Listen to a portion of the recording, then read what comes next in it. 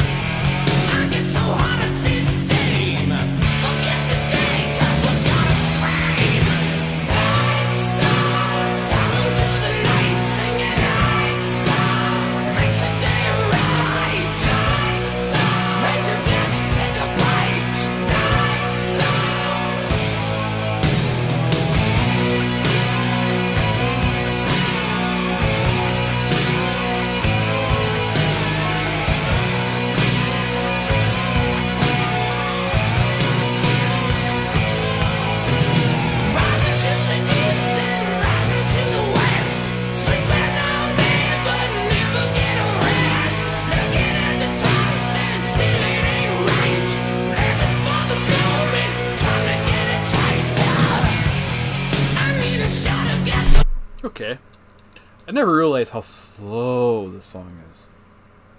Just kind of. Mm. You know, like this is the kind of song that you know when your store closes and you're mopping the floor and like scrubbing the sink, kind of like Yeah, you know, okay. it's like the, you know the end of the night kind of a song. Definitely like, but this might sound controversial. What are you recording or not? I am recording, but I just had to stop you there. Doesn't it look like Tom Kiefer only has one leg? Where's his other leg? it was uh, photoshopped out. And- Well, like seriously, it's like it looks like it cuts off right there, like where his like no, little. Uh, behind that scarf. I know, but he's got a really skinny leg. Well, I mean, I, I'm no one to talk about skinny legs. If you saw my legs right now. But what I was going to say, and this might be controversial, it almost has like a country kind of a vibe to it. Yeah. See, a lot of their songs had that vibe to it. I thought. No shit. Yep. Hmm.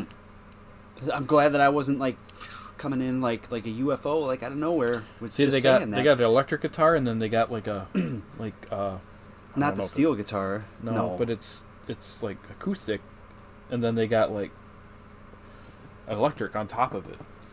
It's weird. it makes you different. wonder like why did hair metal and like country like people like hate each other like so much like there's a lot of things that tie certain kinds of music together because you had one one that was happy and having fun with music and like enjoying life and doing all kinds of crazy shit. Then you had a country at the time, I think, which, is was more like depressed and drab back then. It's just ugh. nowadays country's more uppity and more rock than anything. I, I don't even want to get into modern country is honest to god terrible. It has so much of that clapping and so much of like that snapping and like crunching sound to it like that's in every fucking beat. It has absolutely ruined country. Not saying that i actually liked country but in hindsight going back and looking at it like okay girth brooks and like kenny chestnut and like alan jackson i think that's the only name i actually got right obviously i'm joking but like they were actually onto something. That was, in my opinion, that is actually like country. Modern country is absolute shit. If I if someone put a gun to my head and said you're gonna listen to country, I would pick Garth Brooks, you know, uh, Kenny Chesney, Alan Jackson, like um, who was even older than that. Why am I talking about fucking country on a Cinderella video? How in the shit did I get off in this tangent? I don't know. Jesus Christ, I'm gonna have more beer. I like this song so far, though. It's not bad. Oh, Christ. Oh.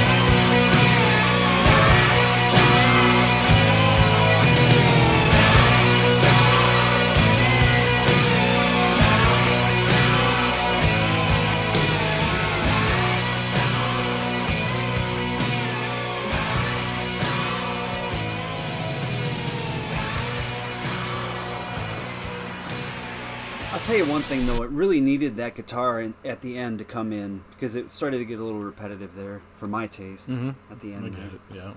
But See, uh, that was probably one of the slower songs on that album. Um, it was the first song on the album, title track. You know, now I listened to it back, and I wish I would have picked a different song. I mean, it was a good, it's a good song, but but that's okay. It's like a lesser known song, so we're Right. help bringing it out there. I'll say something controversial again though. oh shoot, what?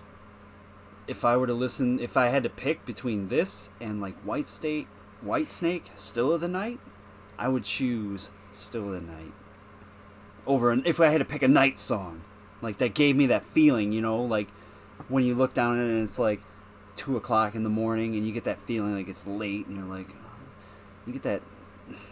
Like I would put this one on first to set the tone, and then I would go into like Whitesnake or something. Still Night. I am. I don't know. Okay, that's what he would do. That's what I would do. What would you guys do? I don't know. Uh, Mr. Chumpus, I think, likes a lot of like '80s music and stuff, doesn't he? He'll tell me what he would do. Yeah, tell us what you do, Mr. Yeah. Chumpus. All right. Adios. Peace.